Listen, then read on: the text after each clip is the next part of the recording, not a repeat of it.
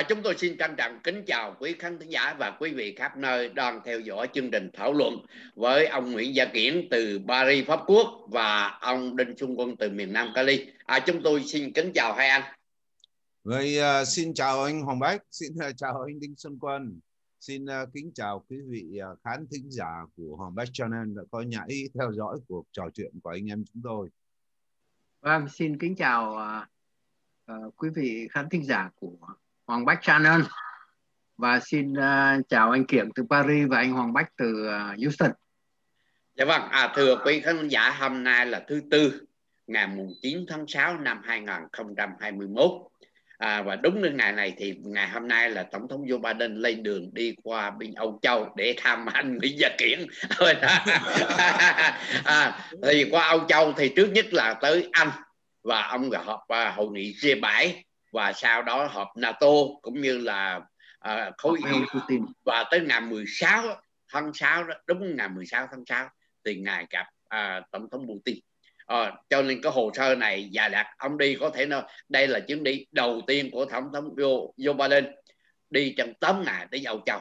À, cho nên cái chuyện bây giờ thì cái đề tài ngày hôm nay ông Nguyễn Gia Kiển và à, à, ông Đinh Xuân Quân muốn gửi đến quý vị tức là chúng ta biết là trong các cái bài diễn văn của tổng thống Joe Biden khi nhận chức ông có xác nhận là hai cái đối thủ quan trọng của nước Mỹ là Trung Quốc và Nga Xô là hai cái đối thủ có những lúc cạnh tranh có những lúc vì quyền lợi chung thì làm ăn nhưng mà cũng có những lúc là đối thủ với nhau sẵn sàng với nhau. Thì bây giờ để nói về Trung Quốc cho nó một cách tường tận am hiểu à, thì xin mời ông Nguyễn Gia Kiển có thể nói một cách tổng quát về cái bối cảnh Trung Quốc ngắn gọn để sau đó chúng ta đi vào chi tiết đưa ra những cái tình hình trong bối cảnh ngày hôm nay. À, nó thay đổi như thế nào và thế giới tại sao thế giới trong à, những tháng gần đây là liên kết với nhau hoặc là mình mình dùng cái danh từ giống như hơi bình dân chút xíu tức là bề hội đồng Trung Quốc tức là cả Á Châu lẫn Âu Châu và cả Hoa Kỳ.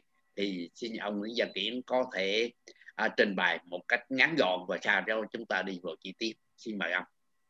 Về đề nghị của ờ, ông Hoàng Bách khó quá này ờ, tại vì nói về Trung Quốc đó, có lẽ là mình chỉ có thể thảo luận liên tục. Trong một hai năm cũng chưa xong. Nhưng mà nói nói thật ngắn thì không biết nói gì nào. Nhưng mà tôi ờ, nhưng mà đang nào rồi thì mình cũng phải nói về cái tiến trình nó đưa tới cái tình trạng ngày hôm nay một cách rất là tóm lược dù sao chăng nữa thì cũng cần thiết. Chúng ta nên uh, uh, tôi có mặt tại uh, Bắc Kinh vào cái lúc vào cuối năm 2007 vào cái lúc mà họ đang chuẩn bị cho cái uh, thế vận hội năm 2008 thì vào lúc đó đó phải nói là Trung Quốc đó đã làm tất cả những gì họ có thể làm để tranh thủ cảm tình của thế giới và của cho nên ờ, chúng ta có thể nói là họ đã bỏ ra một tỷ vào cái thời giá vào lúc đó để chuẩn bị cái ờ, thế vận hội ở Bắc Kinh. Và riêng cái buổi ờ, cái ngày lễ khai mạc tốn hết 100 họ chi họ chi 100 triệu đô la Mỹ nữa để mà cho cái ngày, riêng cho cái ngày khai mạc. Vào cái lúc mà người dân ở trong nước có thể có thể nói là một nửa dân số Trung Quốc còn đang sống dưới cái uh, mức người ta gọi là mức nghèo khổ. Phải nói là cái cố gắng rất lớn. Trung Quốc làm tất cả để tranh thủ cảm tình của thế giới. Chúng ta nên biết là nếu có những cột mốc của, của Trung Quốc thì chúng ta nên nhắc lại. Một cột mốc rất quan trọng là năm 1978 sau khi Mao Trạch Đông chết đặng tiểu bình cái phe của đặng tiểu bình nắm được ưu thế loại được cái cái, cái đám thân cận của Mao Trạch Đông gồm có Giang Thanh vợ của Mao Trạch Đông và Vương Hồng Văn gọi là tứ nhân bạc thì lúc đó tất cả cái chính sách của Đặng Tiểu Bình là gác qua một bên cái chủ nghĩa cộng sản. Mèo trắng mèo đen gì miễn bắt được chuột chúng ta cố gắng để xây dựng để đưa đất nước Trung Quốc ra khỏi cảnh nghèo khổ. Chúng ta hòa dịu đối với thế giới chúng ta đi cái chúng ta là một nước lớn mà thử mà áp dụng cái chính sách ngoại giao của một nước nhỏ. Và cái chính sách này khá thành công bởi vì chúng ta là vào năm 1978 khi tập cận à, khi đặng tiểu bình lên cầm quyền thì cái số người trung quốc uh, sống dưới cái mức gọi là mức cơ cực mức nghèo khổ cơ cực nghĩa là dưới 2 đô la mỗi ngày nó là 90 phần trăm ngày hôm nay đó vào năm 2020 thì theo những cái thống kê của Trung Quốc đó cái số người đó chỉ còn có hai phần trăm thôi. Và họ cam kết là họ sẽ họ sẽ xóa bỏ cái sự nghèo khổ trong vòng một vài năm nữa. Cái điều đó họ có thực hiện hay không chúng ta chúng ta sẽ nói. Nhưng mà phải nói rằng cho tới năm à, à, uh, 2013 thì Trung Quốc đã làm tất cả để thu để chinh phục cái cảm tình của thế giới. Nhưng tình hình nó thay đổi vào năm 2013 thì Trung Quốc đã ờ, đưa đặng đưa, đưa tập cận bình lên cầm quyền. Lúc đó phải phải hiểu rằng Trung Quốc đã có một chính sách phiêu lưu kinh tế trong vòng 5 năm kể từ sau cái cuộc khủng hoảng tài chính năm 2008 đó, thì cả thế giới thắt lưng buộc bụng để chịu đựng cái cái cái, cái cơn khủng hoảng này để để cố gắng ra vượt ra khỏi cái cơn khủng hoảng này. Thì Trung Quốc đó bộ uh, bộ chính trị Đảng Cộng sản Trung Quốc đã có một cái thảo luận và đi đến một cái kết luận rằng cái hợp đồng giữa nhân dân Trung Quốc và Đảng Cộng sản Trung Quốc là nhân dân Trung Quốc để cho Đảng Cộng sản uh, Cộng, uh, Trung Quốc được độc tài toàn trị. Nhưng mà với điều kiện là phải duy trì một cái tỷ lệ tăng trưởng lớn và cái tỷ lệ đó là 8%. Theo lời ôn gia bảo, thủ tướng vào lúc đó thì nếu mà cái tỷ lệ đó tăng trưởng nó mà nó xuống dưới 8% sẽ có bạo loạn tại Trung Quốc. Vì thế mà uh, cái chính sách của Hồ Diệu Bang vào lúc đó, đó là cố gắng làm tất cả để duy trì cái mức ờ, tăng trưởng ở mức 8 7 8% và cái cách mà họ duy trì thì cái giải pháp dễ nhất ông ờ, ông quân là một ờ, người đã từng đi những nước ờ, kém mở mang. Tôi cũng đã là làm kinh tế tại một nước kém mở mang. Chúng ta đều biết là có một phương pháp dễ làm là xây dựng phát triển ngành xây dựng. Nó sẽ lôi kéo theo rất nhiều ngành. Nhưng mà xây dựng để làm gì? Xây dựng đến bao giờ? Nó là cả một câu hỏi lớn mà những người những người những nhà kinh tế chuyên nghiệp đó phải tự đặt ra và tìm câu trả lời. Nhưng mà tôi có cảm tưởng là đảng cộng sản trung quốc đi vào cái cuộc phiêu lưu đó mà không tìm câu trả lời. Cho tới năm 2013 thì cái tình hình nó trở thành gay go. Đã có mấy lần là cái thị trường chứng khoán Trung Quốc nó nó đeo nó xích nữa bị sụp đổ. Cái gói cái gánh nợ nó đã tăng lên. Đó.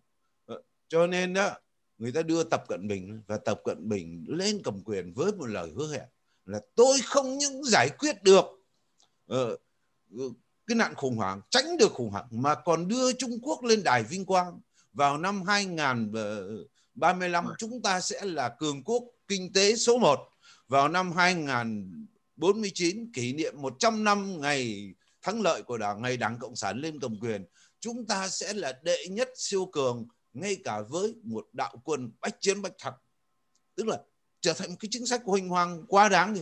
Và chính nhờ thế mà Tập Cận Bình đã được tôn vinh nên nhớ là tên Tập Cận Bình được đưa vào điều lệ đảng Tập Cận Bình được xếp một người không có thành tích gì nhiều mà được xếp ngang hàng với Mao Trạch Đông đó. thì đó từ đó, đó cái chính sách từ năm 2013 trở đi đó, cái chính sách nó trở thành hung hăng nhưng mà nó hung hăng ở một cái mức giới hạn nào đó mặc dầu nó mặc dầu nó thế giới đã bắt đầu lưu ý rồi và đặc biệt là Hoa Kỳ đó, đã phải đẩy mạnh cái chính sách mà họ đã nhìn thấy từ có lẽ từ năm 2010 12 13 họ là cái chính sách vâng. chuyển trục về châu Á và Thái Bình Dương. Là vì lúc đó Tập Cận Bình đã nêu ra đã, đã đơn phương và sắc sược tuyên bố chủ quyền trên 90% cái biển Đông. Mà cái nước nạn nhân đó nước là nạn nhân chính là là Việt Nam. Rồi đó tình hình nó càng ngày càng căng.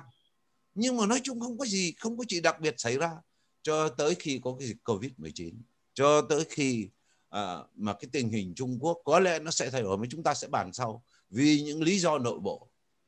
Tập Cận Bình đã đi theo một cái chính sách khác. Cái chính sách đó là chính sách khiêu khích để mà co cụm lại. Giống như một người chửi hàng xóm trước khi đóng cửa lại không chơi với ai cả.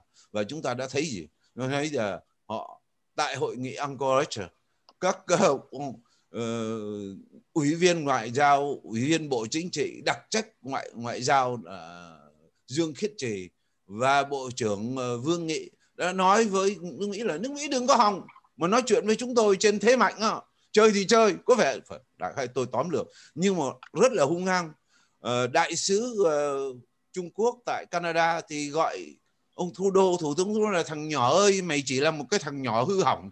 Mày làm tan nát tất cả mày không có mày biến nước ờ, mày biến nước Canada nước Canada của mày thành tay sai của Mỹ. Ở bên Pháp thì chửi những học giả những nhà bình luận kể cả những uh, dân biểu của Pháp mà có uy tín đó, là những con chó là đồ vô danh tiểu tốt. Rồi nghĩa là với úc lại càng sắc sược hơn nữa. Chê được, được cấm vận ờ, tẩy chay hàng hóa của úc ra cái mặt thù địch đe dọa. Nước úc có thể là nạn nhân đầu tiên chẳng chúng ta thấy cái chính sách. Chứ chúng ta không nên nghĩ rằng đó là một cái chính sách đó là một cái sự tình cờ của những viên chức ngoại giao vụng về. Không phải đâu những người những người nhà ngoại giao Trung Quốc, họ rất là, họ rất là kỷ luật. Họ hung hăng là vì họ họ được lệnh hung hăng. Và chúng ta cái kết quả là như thế nào?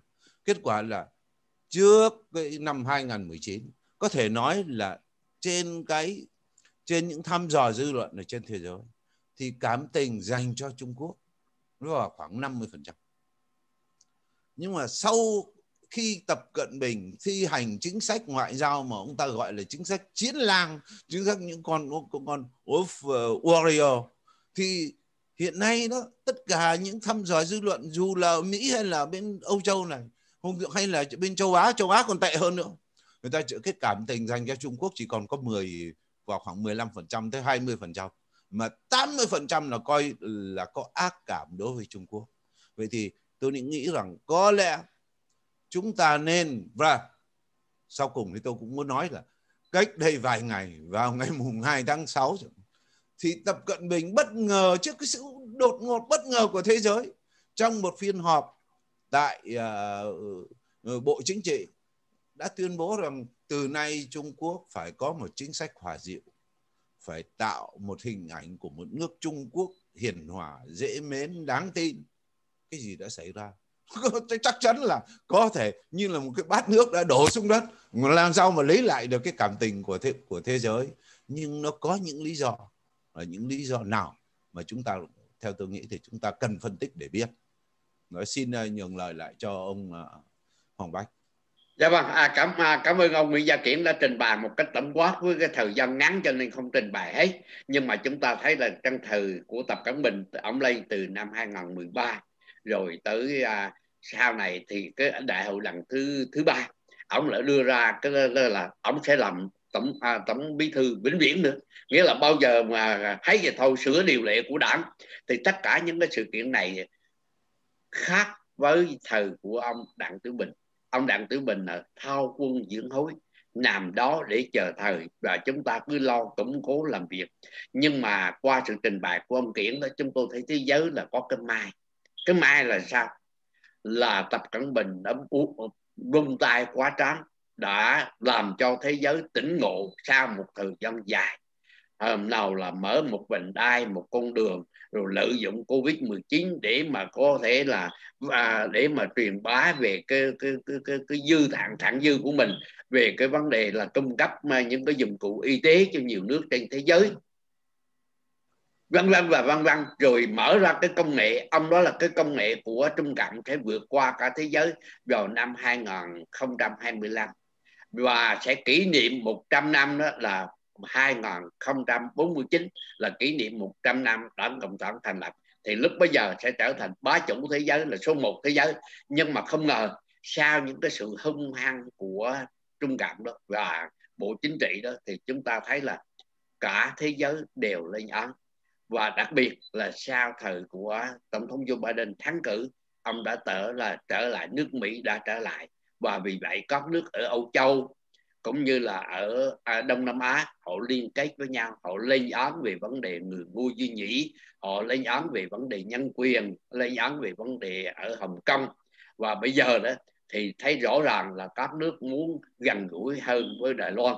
Đó là cái thế mà chúng ta thấy thấy hoàn toàn không có sự thay đổi thì qua cái nhìn này đó bây giờ để đi sâu vào chi tiết đó, sau khi mà Tập Cận Bình đã vung tay quá trán và đã làm cho thế giới tỉnh ngộ thấy là một anh này đó anh muốn sửa lại cái trật tự của thế giới. Anh không tôn trọng cái sân chơi của thế giới mà muốn muốn muốn đảo ngược lại thế giới. Anh coi biển đông là cái sân sân sân sân sao hay là cái ao nhà của anh nữa. Cho nên tất cả những cái sự kiện này nó làm cho thế giới gọi là sửng sốt. Và bây giờ chúng ta thấy là cái thế trận nó là khác với cái thế trận trước. Bây giờ trở lại với ông quân khi mà chúng ta thấy là tập cận bình đã làm cho thế giới đã nhìn thấy là cái tham vọng của trung cộng. Và bây giờ từ Âu sang Á họ đã lên án vấn đề này. Chúng ta thấy một cái nước mà nhỏ bé nhất mà lệ thuộc về kinh tế của Trung Cộng mà bây giờ cũng ờ, à, cũng ờ, qua là đòi điều tra con Covid đó là nước Úc. thì chúng ta thấy là họ trừng phạt, nhưng mà Úc không sợ. Như vậy là một người mới đặt quyền lợi của quốc gia lên trên hết. Họ đã lợi dụng nào là cái viện khổng tử để mà đi rao giảng rồi làm gì? Dùng tiền ở đây để mà đặt những cái cơ quan tình báo và họ gửi người ra ngoài, du học sinh để mà ăn cắp những cái tin tức, những cái trí tuệ của ở các nước tây phương. Xin mời ông à, ông quân có thể ờ, qua cái qua những cái vấn đề mà ông kiển vừa nêu thì ông bình luận về những cái vấn đề uh, Trung Quốc ngày hôm nay nó ra sao? Tôi thì nghĩa là thiết thực hơn. Tôi chỉ chọn một một số ờ, để cho quý vị khán thính giả thấy là cái sức mạnh mà Trung Quốc nói đó nó không có phải nó lớn như là người ta tưởng. Thì cái chuyện đầu tiên đó là mới nhất đây. Trong năm nay đó thì là uh, Trung Quốc đã đưa ra cái census là cái cái là thống kê về dân số. Cứ 10 năm quý vị đừng có quên cứ 10 năm thì là người ta kiểm tra dân số một lần. Thì trong cái kiểm tra dân số lần thứ bảy của Trung Quốc tôi mở dấu ngoặc ở bên Hoa Kỳ nó là mấy chục lần rồi chứ không phải là, là hơn 20 lần rồi thì ở Trung Quốc đó nó cho thấy cái gì?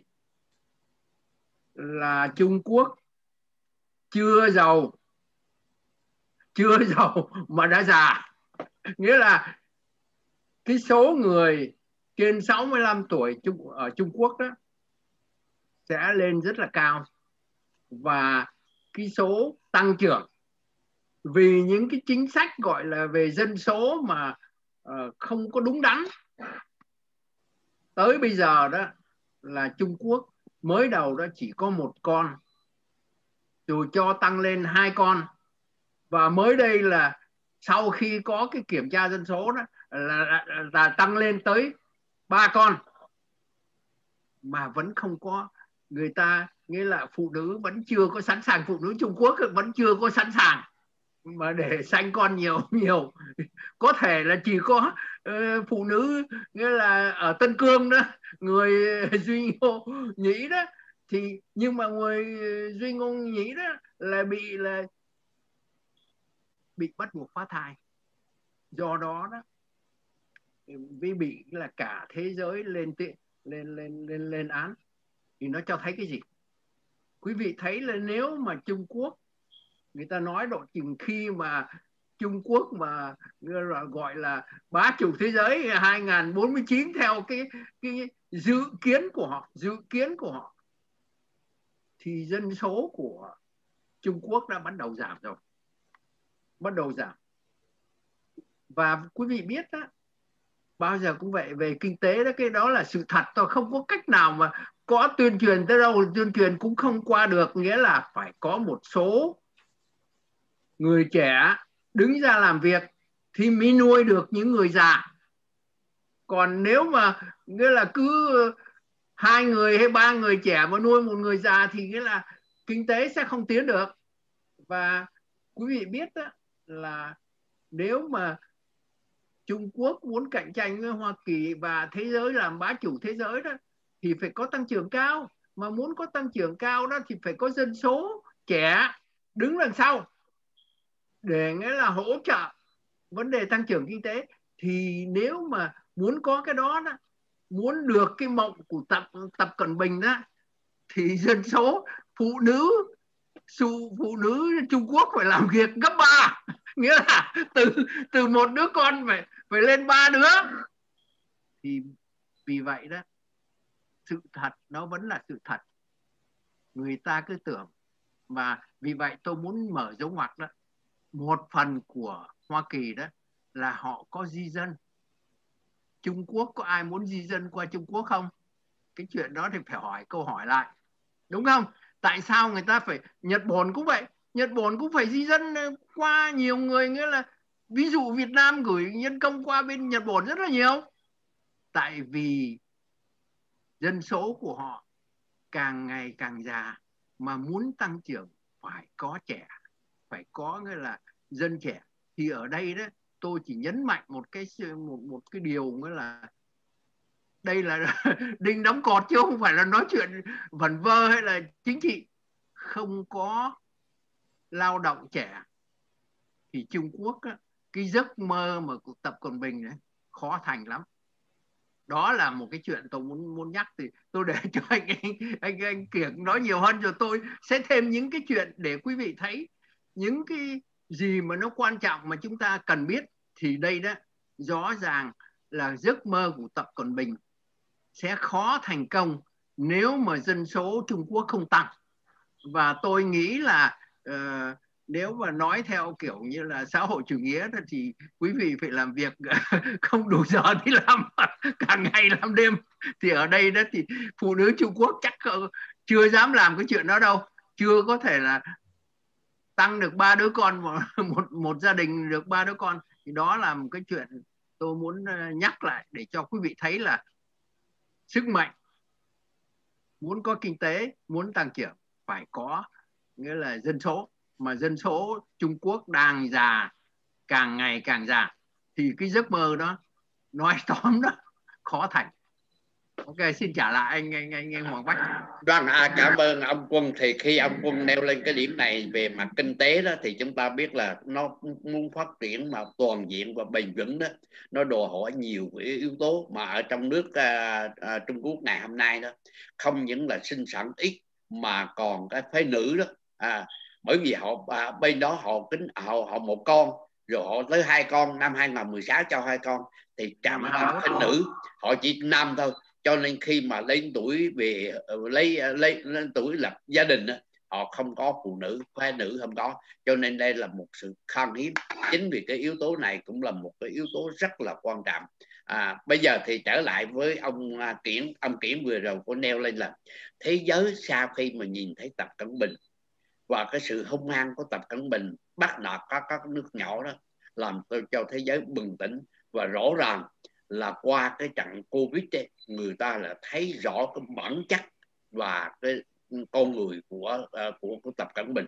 Cho nên vào ngày mùng 2 tháng 6 như ông vừa nói đó thì tập cận bình đưa ra một cái chính sách về ngoại giao phải thay đổi. Tức là làm sao cái hình ảnh của Trung Quốc đi tới đâu thì người ta thương yêu tới đó chứ bây giờ người ta rất là gắt. Nếu mà làm thống kê đó các cái dân số trên thế giới đó, kể cả dân Mỹ bây giờ họ rất là gắt Trung Quốc cho nên đó là cái liên tục độ chưa nói tới Việt Nam, các nước ở Ai Châu. Ông Kiển còn nhớ đó, hiện tại đó, ở Lâm Dương, họ chính, có 92 triệu liều vaccine để chích mà của Trung Cộng người dân không chích. Người dân đó là thà không có chứ không chích. Tức là thiếu cái niềm tin tưởng đi. Thì đây là một cái mấu chốt, cũng là một cái vấn đề, cái hình ảnh khi mà họ thấy công ty Huawei đó nó lớn mạnh tưởng là họ đi tới đâu, họ làm nam ri tới đó. Nhưng mà không ngờ là Hoa Kỳ và cả thế giới lên án thì bây giờ cái công ty công nghệ của Huawei đó, đã bị co cụm. Mà đặc biệt là ngày hôm qua là ngày mùng 8 đó, thì thượng viện của Hoa Kỳ đã biểu quyết một cái ngân sách mà trên qua cái ngân sách dường như là 68 trên 32 người.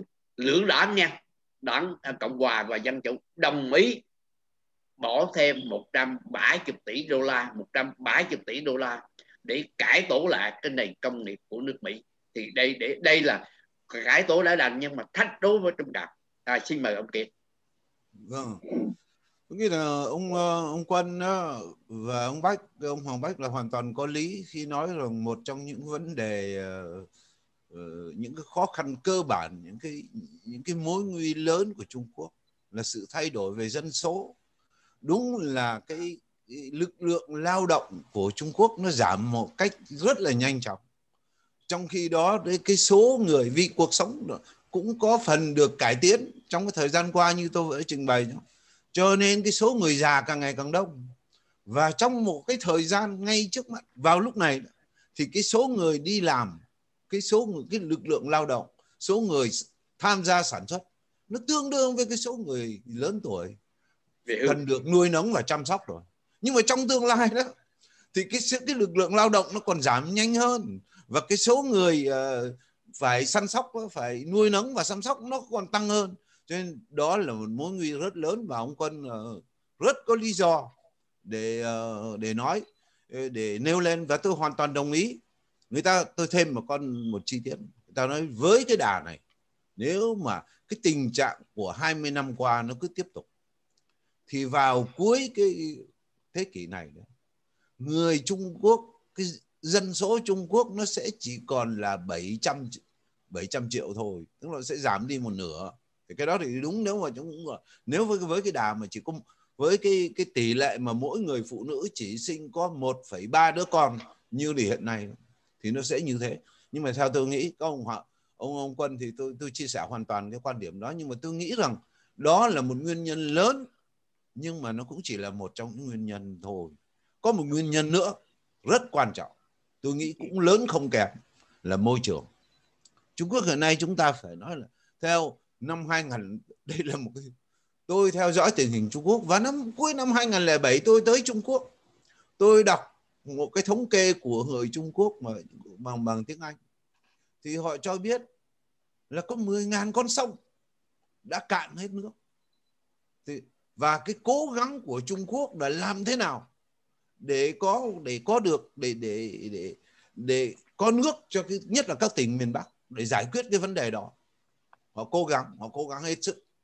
Vào năm ờ, 2018 khi mà tôi quay trở lại, thì tôi đọc lại một cái thống kê khác. Và trong thời tôi cũng có đọc nhiều thống kê, nhưng mà tôi xin nhắc, cái thống kê năm 2018 mà tôi đọc là bây giờ đấy cái số lượng cái sông ngòi của Trung Quốc nó cạn hết nước nó không phải là 10 ngàn mà nó là 28 ngàn con sông lớn nhỏ. Tôi nhắc lại con số 28 ngàn con sông lớn nhỏ không còn nước. Vì trước ờ, chúng ta là ông ờ, nhất là anh Hoàng Bách là cái người học uh, tiếng Việt giỏi. Chắc là cũng hồi nhỏ đi học cũng có biết tới những bài thơ của Việt Nam thì có cái bài thơ mà trong nội nhắc tới ai cũng chúng ta lúc học trung học có nhắc tới một câu thơ của Lý Bạch là quân bất kiến hoàng hà uh, hoàng hà chi thủy thiên thượng lai bôn lưu đáo hải bất phục hồi. Tức là ngươi thấy chăng? Để tả cái cuộc sống nó đi qua không ngừng nói rồi các người có thấy chăng? Nước từ sông nước sông Hoàng Hà từ trời mưa xuống chảy ra biển không bao giờ trở lại. Nhưng mà nếu ngày hôm nay đó chúng ta chúng ta hỏi một người Trung Quốc là ngươi thấy chăng nước sông Hoàng Hà chảy, không bao giờ trở lại, họ sẽ nói họ không thấy, không còn nước. Sông Hoàng Hà bây giờ nó thành một cái sân banh người ta đá banh, cho một trong trong năm nó có được một hai ngày, một hai ngày thôi ngay cả bỏ. Nhưng mà những con sông còn lại thì lại rất bị rất bị ô nhiễm. Mà nhiều khi người ta không có dám uống, người ta không dám rửa tay nữa chứ chưa nói là dám uống nước. Ở miền Tân Cương thì bây giờ mới trong những vùng ở Tân Cương hoặc là Sơn Đông hoặc là ừ, ờ, ờ, Tây An thì phải đào xuống gần 100 mét mới bắt đầu có nước. Trung Quốc có làm ba cái đường dẫn, ba cái đường dẫn trốn 100 tỷ đô la để mà chuyển nước từ miền Nam lên miền Bắc nhưng mà cuối cùng nó thất thoát nửa đường chỉ có 10% tới thôi và vấn đề nước không được giải quyết nước là một vấn đề không khí là một vấn đề khác. Về các các tỉnh ở miền Bắc Trung Quốc họ có có có một cái tỷ lệ có một cái mức độ ô nhiễm mức độ nó lớn và mức độ nó lớn tới cái mức mức mức độ mà gọi là hạt mịn đó. Nó nguy hiểm tới một cái mức mà tự, nó cao gấp 4 50 lần. Có lúc là bình thường là gấp 10 lần cái mức mà uh, tổ chức y tế quốc tế gọi là mức nguy hiểm cho sức khỏe. Nhưng mà chúng chúng ta phải hiểu rằng cái có cái, cái cái môi trường là một cái điều quan trọng vô cùng. Sở dĩ khi chúng ta có môi trường lành mạnh chúng ta không để ý. Nhưng mà khi nước không có uống được nữa không có lửa không còn nước nữa và cũng không khí không thở được nữa nói chung là cái đất nước này không sống được nữa thì chúng ta chẳng có gì để nói chuyện với nhau cả. Cái đất nước mà miền Bắc Trung Quốc đang bị hủy hoại. Đó. và cái sự hủy hoại này tự nó đã là một thảm kịch. Phải nói là nước Trung Quốc, đất nước Trung Quốc đang, cái một nửa đất nước Trung Quốc đang bị tiêu diệt, đang bị hủy hoại. Nhưng mà cái cái sự hủy hoại đó nó đưa tới một hậu quả địa lý chính trị khác. Tức là chúng, nếu mà chúng ta đọc lịch sử Trung Quốc, thì chúng ta thấy là từ trước tới nay đó, cái miền cái vai trò, cái quyền lực chính trị nó luôn luôn nằm ở miền Bắc.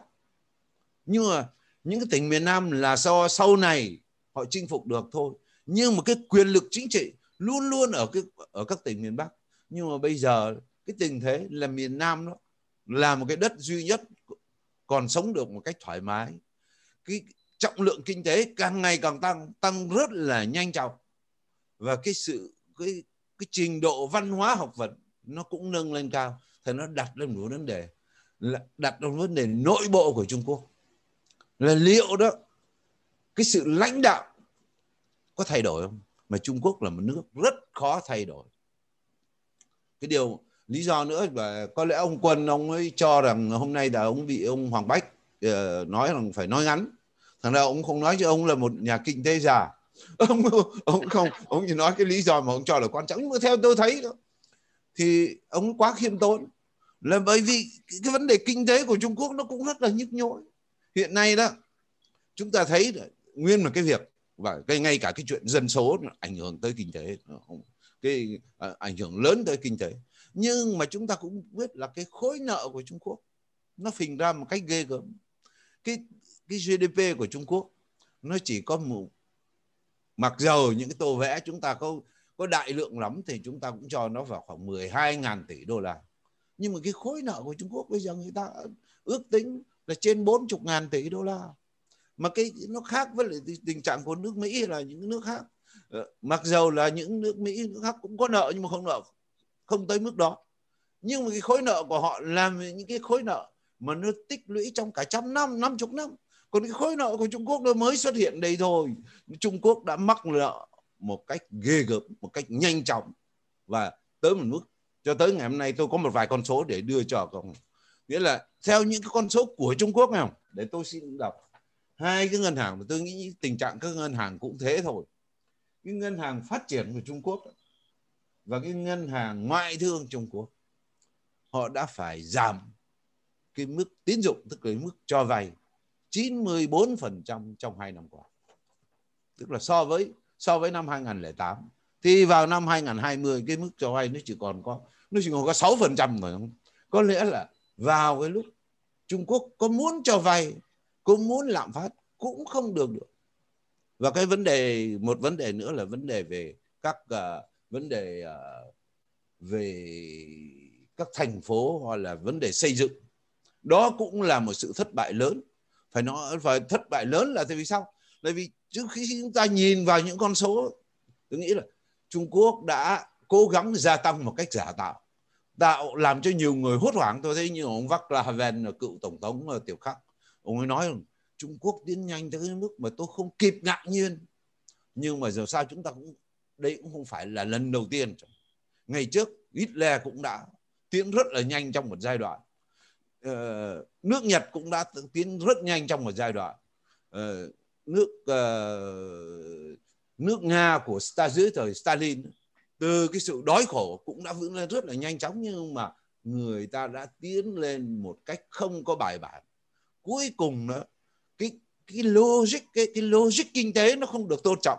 Và tới một mức nào đó đó, nó, cái sự vô lý nó lớn hơn. Những cái lý do để nó tiếp tục và cái cuộc khủng hoảng nó bắt đầu cuối cùng thì dần dần thì nó đưa tới cái sự sụp đổ của liên bang Xô Viết. Vậy thì ngày hôm nay đó, mình phải nói rằng liên bang cái, lý do của cái nền kinh tế cái hoạt động kinh tế thiếu lành mạnh của Trung Quốc. Nó cái cái cái cái hoạch định kinh tế thiếu tầm nhìn. Trong một nền kinh tế hoạch định nó nó đưa Trung Quốc vào một cái ngõ bí vào một cái vào một cái cái uh, ngõ cụt không có lối ra. Thế nhưng mà ở đó nếu nó chỉ dừng lại ở đó thì mình cũng thấy cũng đã là thảm kịch ghê gớm rồi. Nhưng mà nó còn có một cái thảm kịch nữa là bây giờ Trung Quốc sở dĩ mà lấy lại được tinh thần một chút là vì cái và cái cái cái chương trình hão huyền cái chương trình vành đai và con đường. Tôi hỏi ờ, ông quân và ông bách ông hoàng bách có còn ai nhắc tới cái cái vành đai và con đường không? Cái cái anh còn là nhất đái nhất lộ có gì đâu. Họ đã chủ trương là họ nói họ sẽ sẵn sàng bỏ ra. Có lúc thì họ nói là 3 tỷ có lúc họ sẵn sàng 3 ngàn tỷ có lúc họ nói sẵn sàng uh, bỏ ra được bỏ ra tới 8 ngàn tỷ nếu cần nhưng mà tiền đâu để họ bỏ ra. Trước đây đó họ còn có thể huy động được cái vốn ở trên thế giới. Cái cái cái cái sai lầm của nhiều người uh, người chuyên viên kinh tế đó là nói rằng người Trung Quốc chỉ mượn tiền của chính mình không phải thế đâu. Họ họ mượn tiền nó nó quá dài mà nó có thể mình cho vay. Mà mình không biết là mình cho vay. Ừ khi mà chúng ta đặt vào chúng ta đặt vào một ký thác định kỳ vào một ngân hàng là chúng ta cho vay. Các quỹ đầu tư trên thế giới vì cái lãi suất ở Trung Quốc cao, cho nên đã ký thác định kỳ vào các ngân hàng Trung Quốc. Và cái ngân hàng Trung Quốc đó, lấy cái tiền đó để cho vay. Tôi xin nói một, có một con số khác. Tới bây giờ cũng vào đầu năm nay, có một cái tiền, đây là của quỹ tiền tệ quốc tế đưa ra cái con số này là có 586 ngân hàng Trung Quốc ở trong một cái tình trạng cực kỳ nguy hiểm. Trung Quốc không thể vận động được đó được những cái nguồn vốn từ nước ngoài đó. Và do đó đó là các ngân hàng mà tôi nói ngân hàng uh, phát triển và ngân hàng ngoại thương là hai ngân hàng chính của Trung Quốc đã phải giảm 94% đó cái số tiền cho vay trong năm qua. Vậy thì nền kinh tế Trung Quốc đi về đâu? Nhưng mà chúng ta hiểu ngoài vấn đề có Trung Quốc ngoài những vấn đề về môi trường về dân số như là ông, vâng, ông Đinh Xuân Quân nói hay là về uh, về kinh tế nó còn một vấn đề khác. Đó là vấn đề tập cận bình. Tập cận bình là người đâu có phải là một người chúng tôi đã theo dõi cái quá khứ cái quá trình cái của cái, cái, cái tiểu sử của ông tập cận bình. Ông đâu có phải là một người có một cái tư cách gì mà đặc biệt ông đâu có một cái tài năng gì, ông không có thành tích nào. Và có thể nói là khi tôi đi, mấy lần tôi đi sang miền trung, tôi đều thấy là trên tất cả các tiệm ăn luôn luôn đưa ông ấy vào những cái bài phải trong tiệm ăn là chủ tịch tập cận bình đang nói. Nhưng mà khi hỏi ra, tôi thấy là một cái người đọc diễn văn một cách nhạt nhẽo. Mình tôi không biết tiếng tiếng Trung Quốc, nhưng mà tôi biết rằng cái cách nó, cái người nói như này thì không có gì là hấp dẫn cả và khi mà tôi đọc lại những cái gì ông ta đã viết, tôi không thấy có một ý kiến nào coi cho được. Nhưng mà tại sao ông được tôn vinh như thế? Tại vì ông đã buôn bán một cái ảo tưởng. Cái ảo tưởng đó là cái sáng kiến vành đai con đường nhất đái nhất lộ sẽ không những cứu nguy Trung Quốc, mà còn đưa Trung Quốc lên đài vinh quang trở thành một cái cường quốc ờ, số một ở trên thế giới. Thống trị cả thế giới. Nhưng mà cuối cùng đó thì hiện nay đó, ai nói tới vành đai và con đường nữa. Cái ảo tưởng tập cận bình là người buôn bán một ảo tưởng. Và rồi đó cái ảo tưởng đó bây giờ nó xuất hiện rằng nó chỉ là một ảo tưởng. Nó còn cái vấn đề.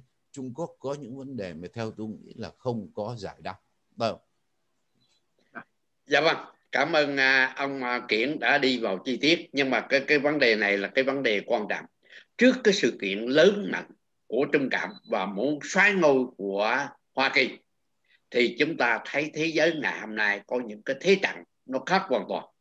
Cái thế trận đó là như ông ông ông Kiển biết đó là đã 8 năm vừa qua EU tức là à, ở Âu Châu thảo luận với Trung Quốc để có một cái cuộc thương thương mại hiệp ước thương mại. Nhưng mà hiệp ước về đầu tư dạ, đầu, tư, đầu tư. Mà đành mà đành phải là vì cái sự hung ăn của Trung Quốc đó mà bây giờ các nước ở bên Âu Châu họ tạm thời ngưng. Đó là một cái yếu tố. Không phải tạm thời đâu. Ờ, họ ngừng không vô thời hạn. Coi như là hủy bỏ. Thì mình không biết nhưng mà mình nói là đó là một sự thiệt hại. Cái thứ hai là một cái gọi là coi như là một cái yếu tố quan trọng nữa mà khi ông Nixon ký với ông Mao Trạch Đông Đặng Tử Bình lúc bây giờ đó là một Trung Quốc ở trong đó. À, Đài Loan và à, à, Hồng Kông coi như là lệ thuộc vào ở Trung Quốc. Và không bao giờ không bao giờ kể từ năm 7, 1979 tới giờ giới chức cao cấp của Hoa Kỳ đến đến Đài Loan chẳng là dân chức chính giới đó không có chỉ có dân chuyên viên thì họ đi thôi. Nhưng mà ngày hôm nay họ đã xác nhận rõ ràng vừa rồi có ba thượng nghị sĩ tới thăm Đài Loan. Và đã buôn ờ, cung cấp vũ khí cũng như là tàu. Đó là cái yếu tố mà chúng ta hay yếu tố bên ngoài tức cái sự hung hăng đó. Bây giờ tìm cách ngăn chặn. Và cái yếu tố thứ hai mà chúng ta thấy là Mã Lai là cái quốc gia cũng lệ thuộc về kinh tế của Trung Quốc. Họ ít lên tiếng nhưng mà gần đây họ lên tiếng họ phản đối vì máy bay của Trung Quốc đã bay vào không phận của Mã Lai. Và Duterte tức là phi, phi luật đăng thì nghĩa là đi đi hàng hai để mà đạt được mục tiêu. Nhưng mà bây giờ họ thấy cái rõ cái bản chất của Trung trạm cho nên ngày hôm qua thì chúng ta thấy tư lệnh của uh, quân đội của của phi luật tăng đã ra đảo để mà tham các uh, chiến sĩ ở đây và đi đi đi đi tham để cho biết sự tình vân vân và vân vân. Thì chúng ta biết là Hoa Kỳ đã tăng cường cùng với đồng minh để mà về cái mặt kinh tế cũng như là các cái chuyên viên mà ra ngoài này học tập để mà ăn cắp đó, là bây giờ rất là giới hạn. Hoa Kỳ đề phòng rất là tối đa. Và các cái viện khổng tử đó gần như là bị tiêu luôn. Đặc biệt là chúng ta ông kiểm biết là ở New Zealand hay là úc đại lợi họ đã lợi dụng để họ khai thác và họ tuyên truyền để mà họ lũng đoạn cái chính quyền đó. Bây giờ họ phát giác ra rồi cho nên cái chính quyền này e ngại rất là nguy hiểm. À thì cái điều này muốn nói để ông uh, đinh trung quân sẽ bàn thảo thêm những cái khó khăn của trung cộng cần phải trực diện với thế giới như thế nào. Đó là chưa nói ấn độ là một quốc gia cái sắp xỉ về cái tỷ số cái dân số đông mà họ cũng đang phát triển mà họ là một cái thể chế dân chủ nữa là đi với đồng minh của mỹ nữa trong cái tứ giác kim cương. Thành cái thế trận này nó rất là nguy hiểm. Xin mời ông ông quân. Xin, xin lỗi ông Hoàng Bách và ông Quân. Trước khi ông Quân nói tôi muốn vì ông Hoàng Bách có nhắc tới Ấn Độ tôi nhắc một câu thôi là chúng ta đừng nên quên rằng trong cuộc chiến tranh lạnh Ấn Độ là nước đứng đầu những nước không liên kết. Ấn Độ chủ trương không liên kết và muốn chỉ muốn trung lập để phát triển mình thôi. Cái thành công của Tập Cận Bình Tập Cận Bình đã thành công vô cùng lớn. Là làm thế nào để biến một cái nước mà muốn hòa bình bằng mọi giá cũng trở thành đối thủ của mình? Và xin nhường lời cho ông Quân xin lỗi. À, tôi tôi thấy là là là nếu mà mình nói kiểu như vậy đó thì không bao giờ hết nhưng mà tôi chỉ vào cái điểm chính thôi. Cái điểm chính là tại sao tất cả các nước trên thế giới lại đứng dậy suy nghĩ lại về cái về Trung Quốc. Tại vì Trung Quốc Tập Cận Bình Trung Quốc của Tập Cận Bình. Tôi nhắc lại Trung Quốc của Tập Cận Bình đã đưa ra một cái mô hình phát triển. Nó đi ngược, không cần luật lệ. Khi mà Trung Quốc mà muốn chiếm biển Đông thì nghĩa là bất kể luật luật quốc tế, không cần luật. Tôi mạnh, tôi cứ vào, tôi chiếm, quý vị, thôi. Thì dần dần đó đó nó cho người ta thấy một cái nguy cơ rất là lớn. Một mô hình phát triển rất là Trung Quốc phát triển rất là nhanh, chứ không phải không. Một mô hình phát triển dựa trên những cái vấn đề mà gọi là, tôi lấy cái ví dụ như là là xe lửa Trung Quốc mà chạy lẹ đó, thì cũng mua của Đức là Siemens và mua của Pháp. Rốt cuộc là bây giờ ờ, họ chế ra Trung Quốc, chế ra xe lửa Trung Quốc, họ còn nói còn hơn kia nữa. Thì vấn đề ở đây không phải là chỗ đó. Đây là một mô hình phát triển mà không dựa trên luật lệ quốc tế phi luật. Đó là một cái khó khăn đầu tiên. Cái khó khăn thứ hai là chính tập cận bình là một cái vấn đề. Trong trong trong trong cái là nội bộ Trung Quốc, Tập Cận Bình bây giờ coi như là Mao Trạch Đông thứ hai, một Mao Trạch Đông thứ hai. Mà quý vị biết đó, qua Mao Trạch Đông đó là bao nhiêu người Trung Quốc thiệt mạng? Vì vấn đề, vì những cái chính sách lỗi lầm. Thì ở đây đó, họ cũng học cái bài đưa lên, đưa chính sách chiến lăng lên. Bây giờ không được thì bây giờ phải hạ xuống. Nhưng mà xuống đó, thì nội bộ chính trị, trong nội bộ chính trị của Trung Quốc liệu Tập cầm Bình có tiếp tục làm vua được không? Có tiếp tục độc quyền. Cái quan trọng đó, mình đừng có quên đó, là Tập Cận Bình bây giờ cũng như là một ông vua thôi, độc quyền trong một cái xã hội chủ nghĩa. Thì quý vị thấy ở đây đó, tôi thấy nó có nhiều cái chuyện nó không ổn, mà mình không có nói ra. Thì tôi chỉ nói, một bên tôi đưa ra một cái yếu tố kinh tế nó rõ ràng.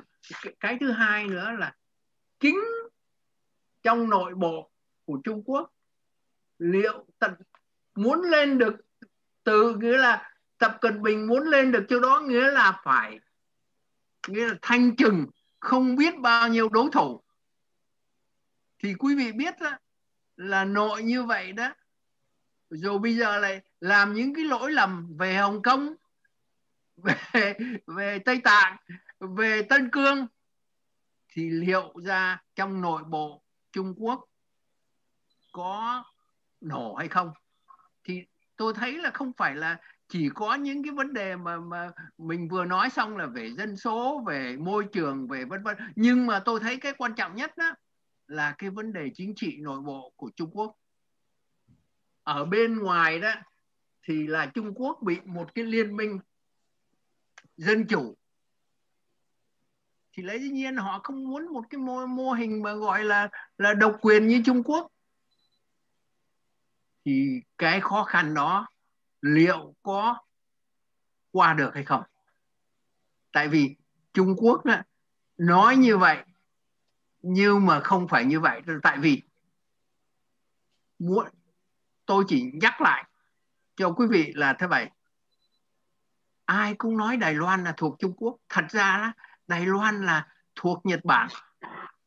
Nhật Bản chiếm rất là lâu và sau đó đó, sau đệ nhị thế chiến, các cường quốc đưa đảo Đài Loan trở về cho Trung Quốc. Đó là một món quà mà các cường quốc đã làm. Ví dụ, họ là xứ Mãn Châu. Bây giờ đâu còn Mãn Châu nữa.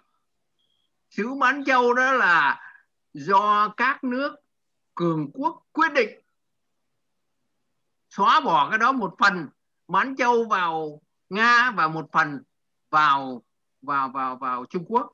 Thì nó có những cái chuyện như vậy thì do đó quý vị thấy đó là nói mặc dù ký kết nhưng mà người Đài Loan đó, họ đâu có phải họ đâu có nghĩ là họ thuộc về Trung Quốc. Thì đó nó là những cái khó khăn nội bộ về chính trị. Khó khăn nội bộ về chính trị thì quý vị thấy khi mà khó khăn đó, Đài Loan họ đi với Nhật Bản nhiều hơn là họ đi với, với lề, lề, lề, lề, lề, lề nội địa. Thì ở đây đó tôi thấy là Trung Quốc là một cái nước đầy cái nghĩa là khó khăn. Đầy cái khó khăn nhưng mà tôi thấy hai cái khó khăn nhất là tôi thấy là về vấn đề chính trị nội bộ. Liệu tập cận bình sau khi làm những cái lỗi lầm thế này liệu còn hay không? Còn trụ được hay không? Và trụ được bao nhiêu lâu nữa? Trụ được bao nhiêu lâu nữa? Quý vị đừng có quên đó ai cũng nghĩ là quân đội Trung Quốc là rất là mạnh ngân sách thì là lớn lao lên tăng. Nhưng mà mình cứ nhìn ngân sách của công an đó, nó còn lớn hơn ngân sách của của của của quân đội. Ở đây đó tôi muốn nhắc lại tại sao mà ngân sách của bộ công an ấy, ngân sách của cái là là an ninh ờ, vì họ không biết là chưa chắc và đã ổn mà muốn ổn đó thì phải kèm người ta mà kèm được bao nhiêu lâu nữa nhất là trong cái thời đại mà gọi là là là là là, là, là uh, vấn đề internet đó. họ có chặn thì chặn nhưng mà không thể nào chặn hết họ được thì ở đây đó tôi muốn nhắc lại đó không phải là những cái khó khăn mình biết chứ mình biết những cái khó khăn, nhưng mà mình phải coi cái gì là chính. Và những cái chính đó tôi thấy là chưa chắc về vấn đề chính trị, nội bộ chính trị mà ông Tập Cận Bình tiếp tục được, gọi là, trụ được, hay là trụ được bao nhiêu lâu nữa. Cái đó là vấn đề, tại vì bây giờ nếu mà đảng cộng sản làm như vậy đó, thì ông tập cận bình ông cứ làm à, chủ tịch và tổng tổng thư ký, hoài hoài muốn đời thì bây giờ nghe hay là uh, Trung Quốc lại đi vào một cái con đường gọi là của của gia đình họ Kim ở bên Bắc Hàn. Bắc Hàn thì cũng cũng xã hội chủ nghĩa vậy nhưng mà xã hội chủ nghĩa là là mà là từ cha tới con là con tới cháu. Thì không biết liệu tại Trung Quốc Tập Cận Bình có còn trụ được nữa hay không? Đó là một cái vấn đề mà ít ai nói, nhưng mà chúng ta nếu mà có phần nữa thì phải mở nhiều hơn để cho khán thính giả chúng ta thấy. Mà nhất là mấy người Việt Nam, ở Việt Nam thấy nữa, không phải là Trung Quốc, là, nghĩa là vững như người ta tưởng. Vì trong cái cái cái hoàng nhã ở ngoài đó, cái cái cái cái, thì ở trong nội bộ rất là nhiều khó khăn vâng. Trả lời lại dạ vâng. chúng chúng ta biết á, là một tỷ tư người. Một tỷ tư người mà ông tập cận bình muốn nắm quyền đó thì những cái thành phần tinh hoa của đảng hay là tinh hoa ở trong dân chúng đó họ mất cái cơ hội. Đó là cái điều thứ nhất. Điều thứ hai đó đảng cộng sản thì vậy nhưng mà nó không thuần túy là một nhóm. Nó có một cái nhóm gọi là đoàn thanh niên cộng sản trung cộng là một cái nhóm nữa. Rồi thái tử đảng rồi thêm có cái cái, cái dân mà học ở trường thanh hoa đó là cũng một cái nhóm giàu ở trong cái bộ chính trị đó họ cũng chăn lắng quyền hành đó họ có cơ hội thôi. Cho nên họ chờ chực những cái cơ hội đó họ sẽ bộc phát ra. Đó là mình nói là chưa nói. Nếu chúng ta nhìn vào lịch sử của trung cộng trước đây đó thì hợp rồi tan tan rồi hợp là cái chuyện bình thường. Bây giờ một cái yếu tố mà nó có tính cách thời sự với ông kiện chúng ta biết là cái chuyến đi của ông Joe Biden tới Âu Châu và sẽ gặp ông Putin. Cái hồ sơ mà thảo luận với Putin thì chắc chắn là sẽ nói tới Trung Cộng như vậy liệu Trung Cộng à, liệu ông Putin có cộng tác với Mỹ với các nước Tây phương không? Bởi vì Mỹ và Tây phương có quyền lợi nhiều hơn là Nga đối với Trung Cộng họ cộng tác với Trung Cộng trên cái thế chính trị để làm sao cho suy yếu của nước Mỹ. Nhưng mà về mặt kinh tế về mặt quyền lợi về mặt mà gọi là thực tế đó thì cái quyền lợi của Nga nó gần gũi với Tây phương và Hoa Kỳ. Thì liệu rằng đây có cái đòn để tạo ly gián với Trung Cộng không? Bởi vì trước đây Trung Cộng đi với Mỹ để tạo ly gián Nga để cho liên bang Xô Viết đó, sau đó sụp đổ. Thì bây giờ Mỹ có thể đi gặp Nga để tạo cái thế gần gũi trao đổi quyền lợi với nhau để mà làm cho Trung Cộng và Nga không khó có sự liên kết với nhau để đương đầu lại thế giới Tây phương và Hoa Kỳ không? Thì xin ông có thể bình luận và chúng ta cũng không còn nhiều giờ mời ông. Uh, Vladimir Putin đó, là một sĩ quan cao cấp ở trong uh, ngành tình báo của Nga. Và do đó ông ta biết về cơ hội. Phải nói là ông ta là một người thông minh một người một người tuy chúng ta có thể phê phán về mặt đạo đức về mặt lương thiện nhưng mà phải nói là về mặt thông minh thì phải nói ông ta là một người thông minh và có mưu lược. Bằng cớ là ông ta từ một người hoàn toàn không có ai biết đến.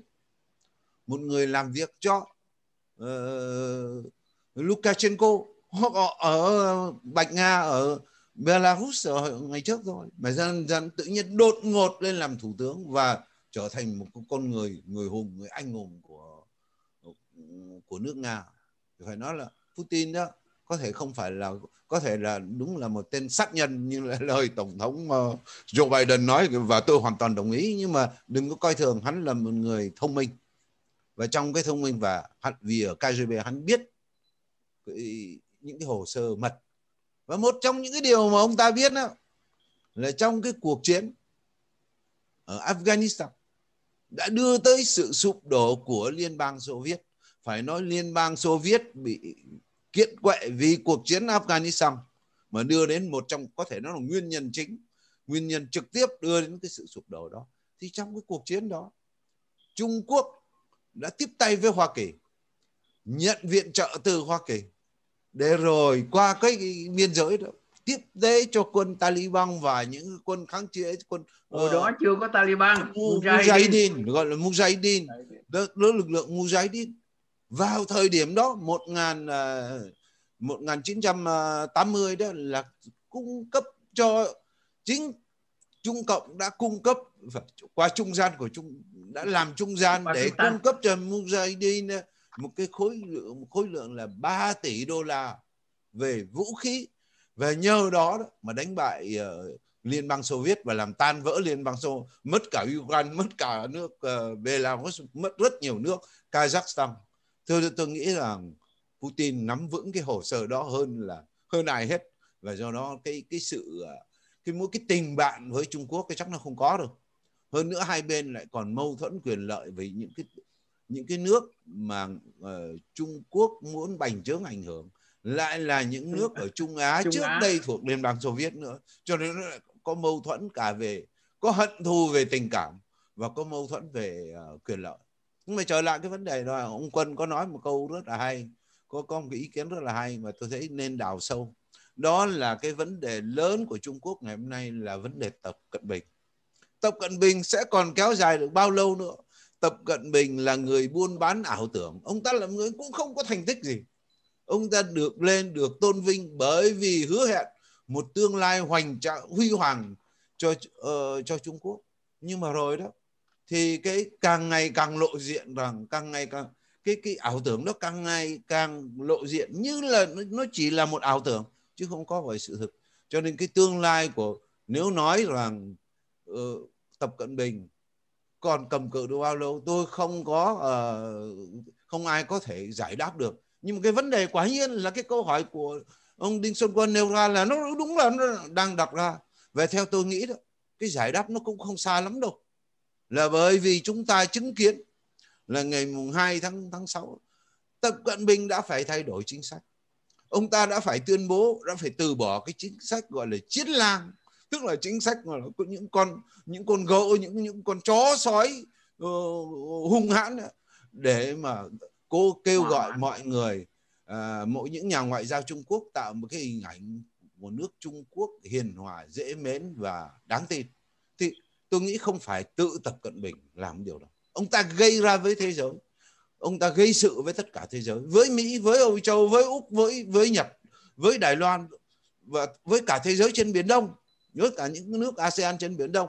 Không phải là vì ông ta ông ta muốn đâu mà bởi vì ông ta có cái nhu cầu gây có cái nhu cầu gây sự. Tôi muốn nói như cái nhu cầu gây sự nó nó như này chúng phải phải phải nắm cho nó vững. Thứ nhất đó, là gây thù hận với bên ngoài tạo được khiến cho bên ngoài ghét mình.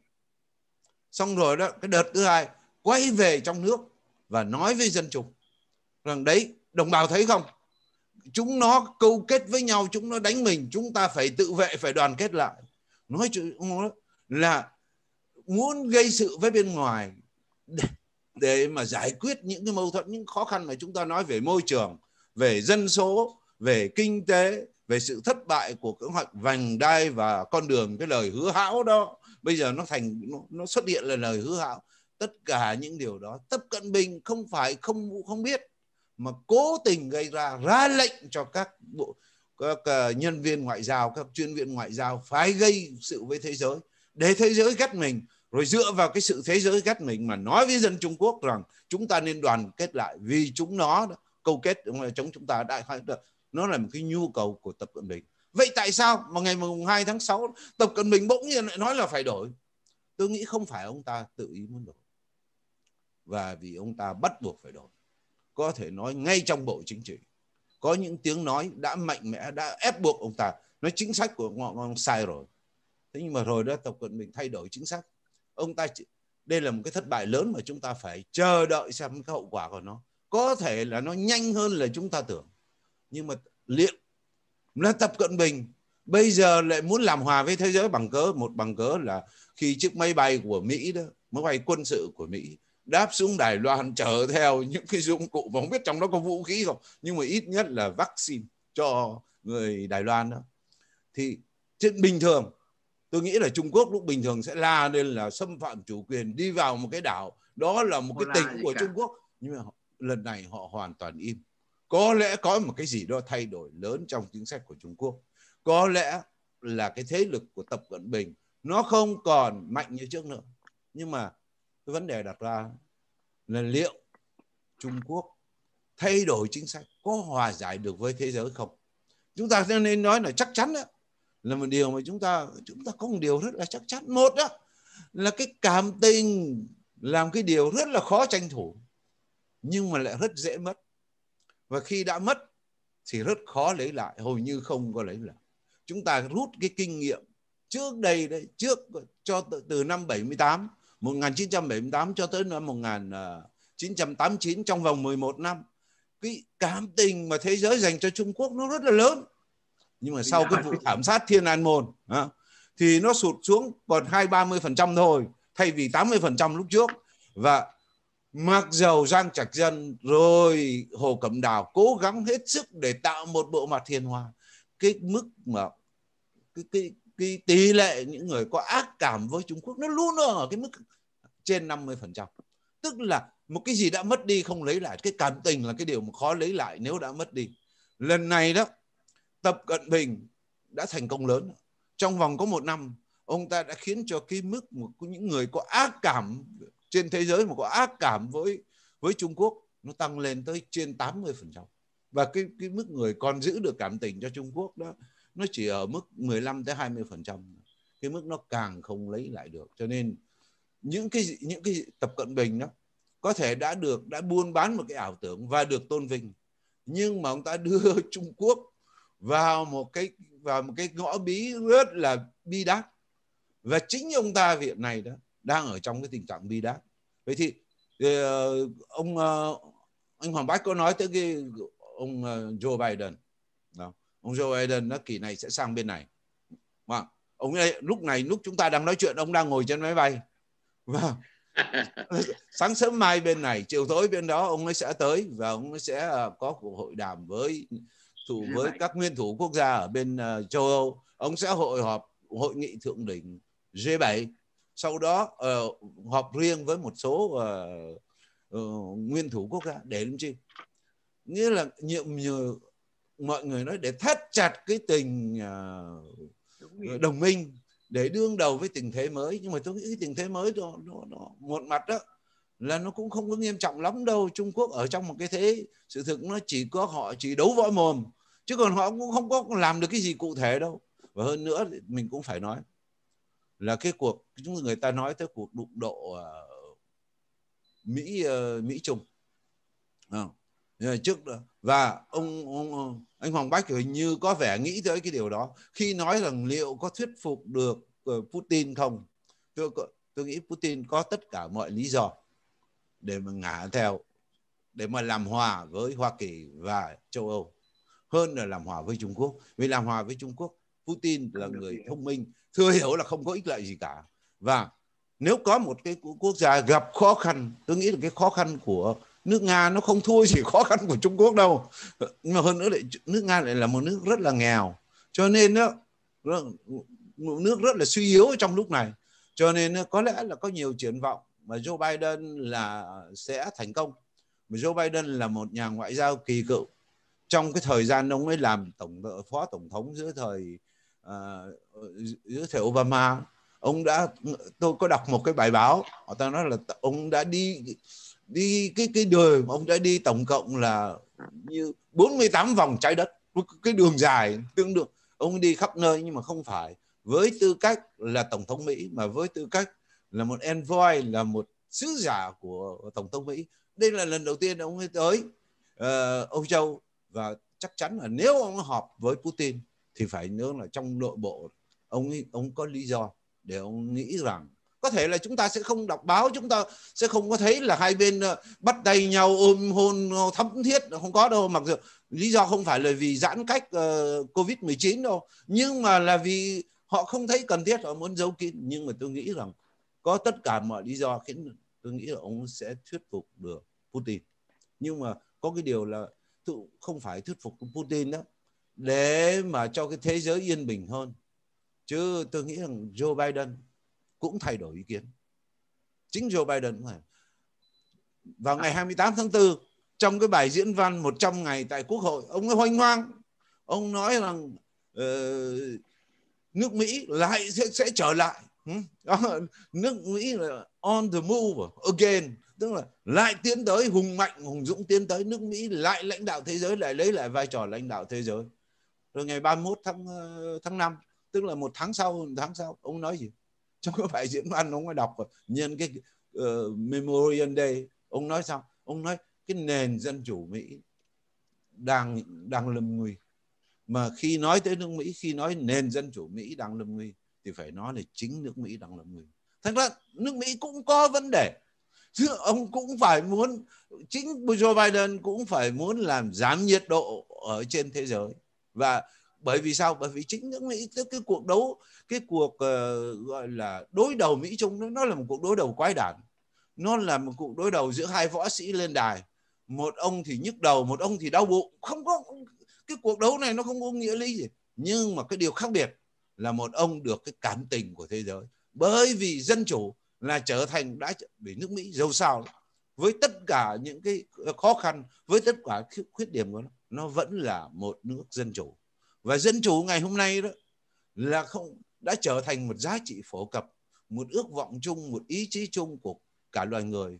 Cho nên đó có lẽ cái tình hình trong uh, tình hình thế giới đó, trong những ngày sắp tới nó sẽ rất là mới nó sẽ chưa bao giờ có. Dân chủ vẫn tiến tới. Mặc dầu là không có Hoa Kỳ không mặc dù cái nước mạnh nước dân chủ mạnh nhất từ trước vẫn được coi là người lãnh đạo thế giới dân chủ ở trong một cái tình trạng rất là bối rối và sẽ còn bối rối nữa. Tôi nói tới những cái luật bầu cử tôi nói tới cái luật tất cả nó sẽ gặp những khó khăn ghê gớm vì nước Mỹ chia rẽ và suy yếu hơn bao giờ hết. Nhưng mà giờ sao? Thế giới có lẽ cũng không cần cái vai trò lãnh đạo của thế, của Hoa Kỳ nữa. Thế giới vẫn tiến lên bởi vì ngày hôm nay dân chủ đã trở thành một giá trị phổ cập và một ý chí chung của cả thế giới. Dạ vâng, cảm ơn ông Nguyễn Gia Kiển nhưng mà chúng tôi lại có hơi nghĩ ngược lại với ông Kiển tức là xin phản biện. thế giới đó sẽ cần có thế giới có người cần có người lãnh đạo. Bởi vì trong gia đình cũng có cần một gia trưởng, trong làng xã thì cũng cần có người lãnh đạo. Bởi vì chúng ta thấy rất là rõ sau khi ông Joe Biden lên cả thế giới đều hăng qua là vì sao? Nước Mỹ đã trở lại. Đó là thực tế có sự đoàn kết có sự liên hoàn có sự nhiệt nhàng có sự tung hứng mình thấy rất là rõ ràng ông đã gặp à, tứ giác kim cương qua họp rồi. Nhưng mà qua trực tuyến thì ông mùa thu này ông sẽ gặp các vị lãnh đạo của tứ giác kim cương. Còn nước mỹ đó thì nói như ông trực siêu đó thể chế dân chủ không phải là một cái thể chế ưu việt. Nhưng mà nó là tốt nhất so với các thể chế ngày hôm nay. Và cái thể chế nó muốn tốt đó là nó luôn luôn điều chỉnh luôn luôn thích nghi để mà tốt. nước Mỹ đang gặp những khó khăn đúng nhưng mà ông nói là nước Mỹ đang bị đe dọa về vấn đề thể chế dân chủ. Cũng đúng luôn lý do là vì còn ông Bung Lam. Ông Bung Lam tới giờ này còn tuyên bố là tôi sẽ trở lại tháng 8 rồi là à, thế này thế kia. Cho nên cái điều ông nói đó là cái nền dân chủ nó đang bị xô mòn. Nếu ông cảnh báo cảnh giác người dân là cái nền dân chủ này đang soi mòn cho nên chúng ta phải củng cố nỗ lực nhiều hơn để hỗ trợ. Nhưng mà bây giờ chúng có để mời ông quân kết luận. Chúng ta biết là Việt Nam và Trung Quốc là hai quốc gia láng giềng. Nếu nói về đảng, thì đây là hai quốc gia anh em. Môi hở thì răng lạnh. Đó là nói theo nghĩa cộng sản. Nó bây giờ cộng sản còn nó 16 chữ vàng, bốn chữ tốt nữa. Láng giềng hữu nghị, hợp tác toàn diện, ổn định lâu dài, hướng tới tương lai. Bốn cái tốt, láng giềng tốt, bạn bè tốt, đối tác tốt, đồng chí tốt nữa. Nhưng mà qua sự trình bày của ông Nguyễn Gia Kiển và ông Đinh Xuân Quân cho thấy là cái nội tình của Trung cảm không như là chúng ta tưởng tượng là sức mạnh nó ghê gớm. Nó bị ung nhọt nó bị ung thư mà chúng ta không biết.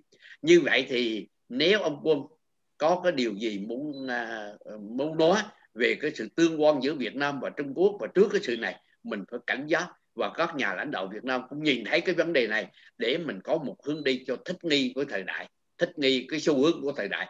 Mà ngắn gọn chỉ còn hai phút thôi thưa ông.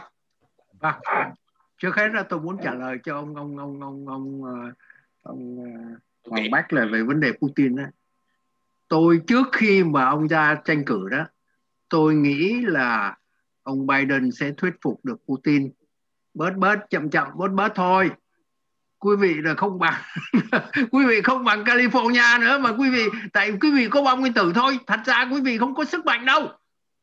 Nhưng mà tôi nghĩ là ông Joe Biden trước đó ông Putin đã cố gắng làm việc với ông ờ, mua chuộc hay làm việc với ông ờ, 45 nhưng mà đây đó tôi nghĩ là ông ta đã ờ, kêu gọi hòa hoãn với Mỹ. Tôi nghĩ là và tôi cũng mong là ông ông ông ông Joe Biden thế thế giải quyết cái vấn đề Nga cái liên hệ giữa Nga và Hoa Kỳ.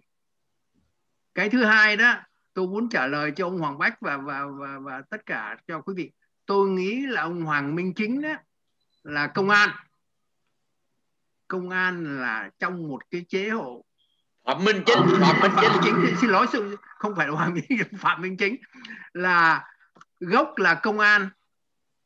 Là trong một cái xã hội xã hội chủ nghĩa đó thì công an là số một. Tôi không muốn đi làm bác sĩ tôi không muốn làm luật sư nhưng mà làm công an. Cũng như ông Putin mà thôi thì là không phải là, ông này đã không phải là không hiểu sự thật. Thì tôi mong là trong cái việc đó, Việt Nam nó tới bây giờ đó, không có phải là làm trò hề như ông Due Tạc Tê là bị bị bị Trung Quốc lừa. Nhưng mà công, Việt Nam nó không có nói gì cả. Nhưng mà vẫn siết lại gần Hoa Kỳ không cần là phải đồng minh hẳn 100% nhưng mà siết lại Hoa Kỳ thì vấn đề Trung Quốc cũng không dám quá mức đâu, không dám đi quá mức đâu. Thì tôi mong là ở đây đó, trong cái ván cờ lớn đó, làm sao đủ khôn để đừng bị, như xưa. Xưa là Việt Nam đã bị nghĩa là các cường quốc là là là đầu tiên là giữa Trung Quốc và và và Pháp. Lần thứ hai là Hoa Kỳ và, và như vậy đó. Chúng ta làm sao? Nghĩa là tôi nghĩ là là là là Việt Nam đủ khôn. Và cái chính sách ngoại giao của chúng của Việt Nam bây giờ nó cởi mở hơn nhiều. Nhưng mà nói chung ấy con người xã hội chủ nghĩa những cái người mà mà mà gọi là, là ngoại giao của Việt Nam đó chưa có thiện cảm lắm đâu. Còn nghĩa là rất là là là xã hội chủ nghĩa là không có tình cảm không có nghĩa là là là friendly. Dùng cái chữ của của Hoa Kỳ nó gọi là friendly đó. Nhưng mà tôi nghĩ là Việt Nam nếu mà đi con đường như vậy đó thấy cái thế cờ Nga và Mỹ Trung Quốc và Mỹ Trung Quốc và thế giới thì tôi nghĩ bây giờ Việt Nam không phải ngây thơ như là thời Phạm Văn Đồng hay là trước đây thì không có không có ôm chân Trung Quốc nữa đâu. Ở ngoài thì phải nói. Nhưng mà thực tế đó, không có ôm chân hẳn đâu. Thì vì vậy đó tôi cũng tin tưởng. Không phải tôi tin tưởng Putin, nhưng mà tôi tin tưởng là mấy người làm công an, làm KGB đó là rất là khôn.